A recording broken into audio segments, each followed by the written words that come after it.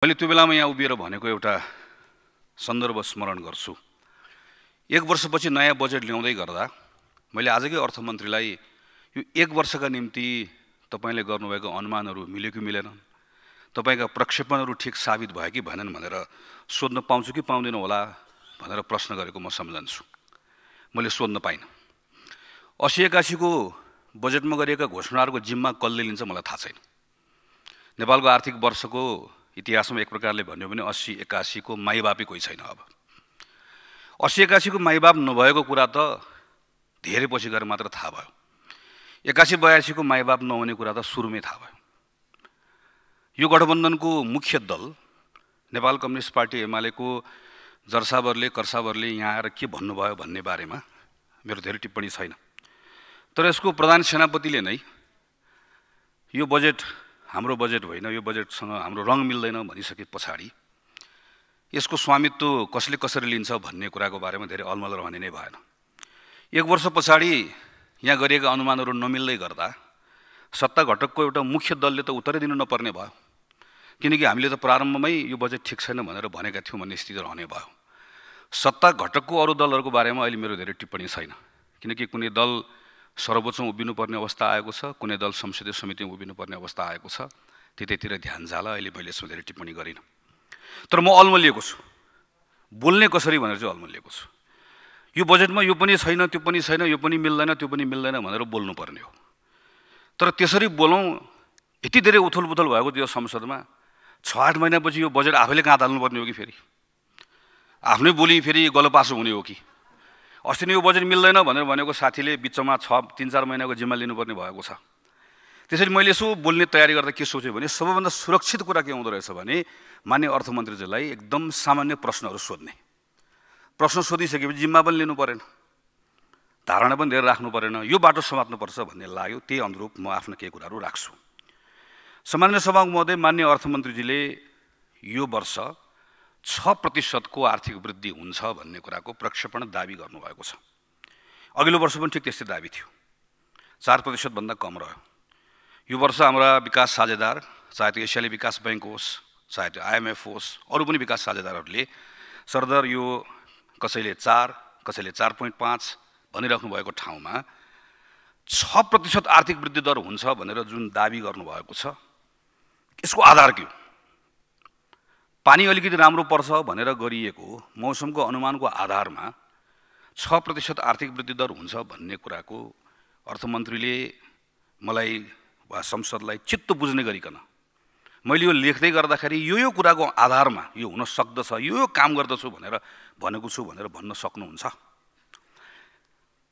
मानिस सामान्य सभा महोदय अर्थमन्त्रीले प्रस्तुत गर्नुभएको बजेटमा राजस्वको अनुमान जे जति अहिले यसपालि राख्नुभएको छ चौध खरब उन्नाइस अरब सङ्घकोलाई यो स्थानीय र प्रदेश समेत गरेर यो वर्षको अहिले संशोधित अनुमान सबै हामीले हेऱ्यौँ भने यो लिएको लक्ष्य चाहिँ नेपालमा जहिले जहिलेदेखि हामीले यसको तथ्याङ्क राख्न थाल्यौँ त्यो हिसाबले सबैभन्दा उच्च वृद्धि हुनुपर्छ यो पटक। करिब करिब चौतिस प्रतिशत वृद्धि भयो भने मात्रै यो लक्ष्य भेटिन्छ। बाबुराम भट्टराई अर्थमन्त्री हुनुभएको बेलामा एकपटक भएको थियो एक बत्तिस तेत्तिस प्रतिशत। नभए सर्द चौध पन्ध्र प्रतिशत हो अझ पछिल्लो केही वर्षहरूमा त हामी पछाडि फर्किरहेका छौँ। आर्थिक गतिविधिहरू यति धेरै सङ्कुचित भएको छ बजारमा मागको यति धेरै कमी छ यस्तो ठुलो सङ्कटको अवस्थामा आइपुगे आइ हामी आइपुगेका छौँ। र मैले हेरेँ के गर्छु भनेर यति धेरै ठुलो लक्ष्य राख्नु भएको छ त भन्दै गर्दा सामान्य करको दरहरू के कुराहरू चलाउनु भएको छ के छुटहरू चलाउनु भएको छ त्यसको बारेमा पनि मेरा प्रश्नहरू छन्। प्रशासनिक सुधार गरेको आधारमा एक खरब राजस्व अहिले बढेको भन्दा पनि बढी बढाउन सक्छु भन्ने खालको यहाँभित्र दाबीहरू छ। मेरो मान्य अर्थमन्त्रीलाई प्रश्न तपाईँ त्यस्तो के नयाँ कुरा गर्दै हुनुहुन्छ जो अघिल्लो आर्थिक वर्षमा भएन जसको आधारमा राजस्वको यो लक्ष्य भेट्न सकिन्छ? हाम्रो खर्च बढेको बढै छ त्यसैले हामीले राजस्व पनि उठाउनु पर्ने हाम्रो आफ्नो चुनौती छँदैछ। तर अङ्टाटको रिपोर्ट हामीले हेऱ्यौँ भने दुई हजार तेइसको प्रतिवेदनले के भन्छ भने अति विकसित देशहरू अति विकसित देशहरूको पनि ट्याक्स टु जिडिपी रेसियो करिब करिब तेइस प्रतिशत। हाम्रो जस्तो देशहरूको लागि त दस एघार प्रतिशत हाम्रो अहिले बिस प्रतिशत छ। अर्थात् हामी अत्यन्त उच्च कर भएको देशमा पर्छौँ उच्च करको कारणले गर्दा सबभन्दा मारमा को परेको छ मध्यम वर्ग परेको छ। मध्यम वर्ग मारमा परेकोले के गरिरहेको छ ऊ? खर्च गरिरहेको छैन। लगानी ब्याङ्कमा हेर्नुहोस् त कति पैसा थुप्रिएको छ ब्याङ्कको कोही ऋण लिन जाँदैन। र अहिले राष्ट्र ब्याङ्कले रिपोर्ट निकालेर सपाट के भनिदिन्छ भने हाम्रो केटाकेटी बाहिर गएको डिमान्ड घट्यो भनिदिन्छ। एउटा एउटा पक्ष त्यो होला। तर मुख्य कुरा भनेको कोही पनि हामी आफूले आफूले कमाएको पैसाको यति धेरै ठुलो अंश कर तिर्नु परेको छ जसको कारणले गर्दा जसले हो जसले आफूसँग भएको के डिस्पोजेबल इन्कम कहीँ गएर थप कहीँ गएर खर्च गर्ने हो अथवा कहीँ कहीँ कुनै लगानीको रूपमा लिएर जाने हो यो सबै ठाउँ सङ्कुचित भएको छ। यस्तो बेलामा खास गरिकन करको दरहरू कसरी लिएर जाने भन्ने कुराहरूको सन्दर्भमा सबैभन्दा बढी सृजनात्मक पनि हुनुपर्ने बोल्ड पनि हुनुपर्ने र वाइज पनि हुनुपर्ने आवश्यकता हुन्छ। किन एकातिर खुत्रुकेमा पैसा पनि बढी जम्मा गर्नुपर्नेछ। तर खुत्रुकेमा पैसा जम्मा गर्दै गर्दाखेरि अहिले भइरहेको त्यसै पनि लगानीको अवस्था बिग्रिएको छ। त्यसै पनि व्यापार भइरहेको छैन। सबको भागभाग छ। यस्तो बेलामा त्यहाँ कतै त्यसको प्रभाव नपरोस् भनिकन गर्नुपर्ने सन्दर्भमा मैले यहाँ केही पनि देखिनँ। वैदेशिक सहायता यो वर्ष पचास अर्ब आउँछ भनेको ग्रान्ट। मैले हिजोसम्मको डेटा हेरेको तिन अरब पनि पुगेको छैन। अब यो वर्ष कति भन्नुभएको छ? बाहन्न अरब रुपियाँ। यही मञ्चमा उभिएर यही पटक पनि सुनेको छु मैले बजेटको छलफलको बेलामा। हामीहरूले त्यो ग्रान्टको सन्दर्भमा भाष्य कस्तो बनाएका छौँ? कि यो विदेशी सहायता परिचालन गर्ने कुराको सन्दर्भलाई हामीले लगेर राष्ट्रवादसँग लगेर जोडेर यस्तो भाष्य बनाएका छौँ कि त्यो भाष्यको बिचबाट अहिले रहिरहेको राजनीतिक नेतृत्वले त्यस्तो के चमत्कार गर्दै हुनुहुन्छ मान्य अर्थमन्त्रीज्यू यो वर्ष कि तपाईँ बाहन्न अरब रुपियाँ वैदेशिक अनुदान लिएर आउनुहुन्छ। वैदेशिक ऋणको एकहत्तर अरब यो वर्ष छ। दुई खरब सत्र अरबको लक्ष्य छ। आन्तरिक ऋण तिन सय तिस अरब छ। मेरो मान्य अर्थमन्त्रीलाई प्रश्न तिन सय तिस सन्ताउन्न अन्ठाउन्न सालमा मैले यसो हेरेको डेटा आन्तरिक ऋणभन्दा बाह्य वैदेशिक ऋण चार गुणा बढिरहेछ अहिले करिब बराबर जस्तो अवस्था भएको छ। अब वैदेशिक ऋण र आन्तरिक ऋणको करिब करिब बराबर भएको अवस्थामा एकातिर बाहिरको ऋणको हामीले तिर्नुपर्ने इन्ट्रेस्ट एक प्रतिशतभन्दा कम छ शून्य दशमलव नौ तिन प्रतिशत औसत। हाम्रो यहाँको ऋणको छ दशमलव एक नौ प्रतिशत छ। यति धेरै भोलि ब्याज तिर्नुपर्छ हामीले। सामा ब्याज तिर्नुपर्ने हुन्छ। अनि तिन सय तिस अरब रुपियाँ निजी क्षेत्रसँग प्रतिस्पर्धा गरेर सरकारले उठाइसकेपछि त्यो पुँजी कति महँगो होला? अनि फेरि अलि पछाडि त्यसै पनि हाम्रो लगानी नभइरहेको व्यापार व्यवसाय नभइरहेको बेलामा त्यसले प्रभावित गर्दैन? सरकारले यत्रो पैसा उठाएर हिँडिदिइसके पछाडि के सोच्नु भएको छ? हामीले केही वर्ष यता के गऱ्यौँ? हामीसँग फिजिकल स्पेस छ भनेर डाङ डुङ हामीले ऋण लियौँ। अहिले पनि यहाँ सुन्यो ऋण लिने कुरा खास डरलाग्दो होइन ऋण लिए हुन्छ। यो कुनै निरपेक्ष कुरा होइन कस्तो अवस्थामा लिने कसरी लिने कसरी तिर्ने एउटा सामान्य घर चलाएको जस्तो त हो नि हो हामी ऋण काटेर घिउ खाने भनेर भन्छौँ। हेर्नुहोस् त त्रिहत्तर चौहत्तर सालमा तिर्नुपर्ने पैसा जम्मा सात खरब थियो। करिब करिब हाम्रो कुल ग्रास उत्पादनको बाइस प्रतिशत थियो। हामीले जुन खण्डमा सबभन्दा बढी सुखी नेपाली समृद्ध नेपाली भनेर हामी भन्छौँ सबभन्दा राम्रो भयो भनेर दाबी गर्छौँ त्यो बेलामा हाम्रो वैदेशिक ऋण बढेर करिब अहिले तिर्नुपर्ने पैसा तेइस खरब भएको छ। त्रिचालिस प्रतिशतले बढेको छ। अब यो पन्ध्र सोह्र खरब रुपियाँ पैसा तपाईँ हामी संसदमा हुँदा हुँदै बढेको त हो हेर्दा हेर्दै होइन।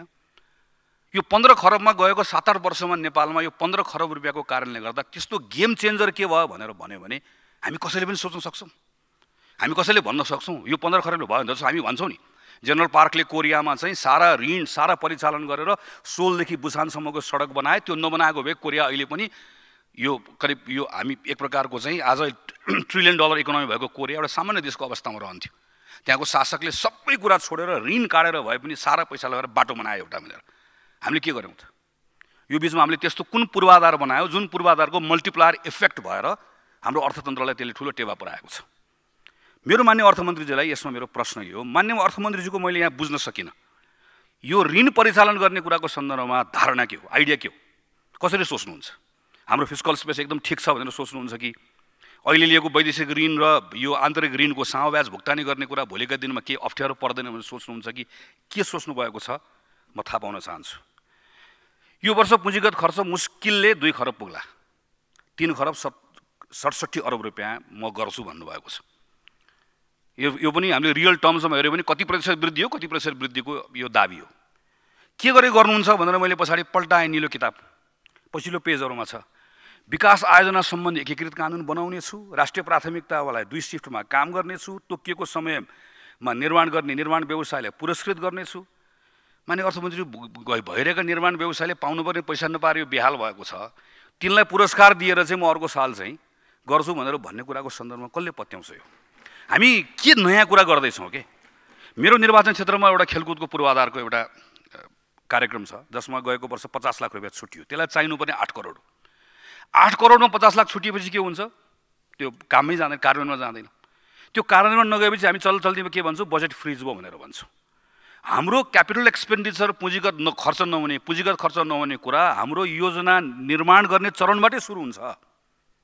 हामी त्यहाँनिर के सुधार गर्दैछौँ? यो यो पटक तपाईँले बनाउँदै गर्दाखेरि कुन कुन मन्त्रालयमा के के सुधार भयो योजना बनाउँदै गर्दा कार्यक्रम छनौट गर्दै गर्दा जसले यो वर्ष पुँजीगत खर्च हुँदैछ।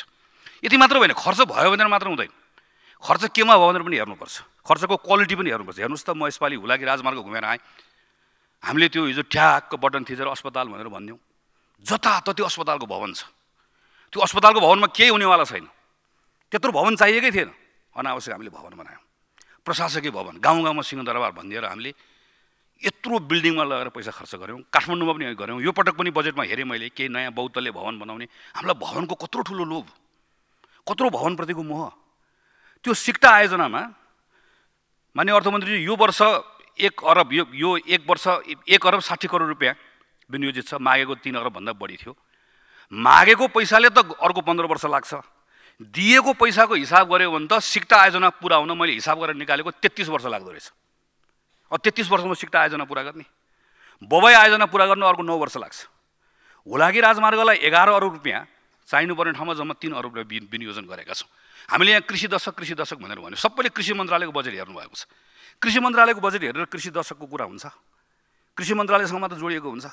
हाम्रो बन्नुपर्ने सिँचाइका आयोजनाहरू बिस वर्ष पच्चिस वर्षपछि बनाउने। बनाउनु नपर्ने भवनहरू हामी अहिले बनाउने। हामीसँग भएको लिमिटेड रिसोर्स त्यहाँ गएर खर्च गर्ने। अनि त्यसपछि कृषिको दशकको चाहिँ हामी कृषि मन्त्रालयको कार्यक्रममा खोजेर हुँदैन। त्यसैले मेरो मान्य अर्थमन्त्रीजीलाई तपाईँको खर्चको बारेको योजना के हो मलाई सुन्ने मन छ। संहिताको बारेमा मलाई मान्य अर्थमन्त्रीजीको धारणा जान्ने मन छ। सानसाना सारा आयोजनामा फेरि हामी सहरी विकास मन्त्रालय त्यसै गरी हामी भौतिक योजना मन्त्रालय डाङडुङ लगेर कार्यक्रम राखेका छौँ।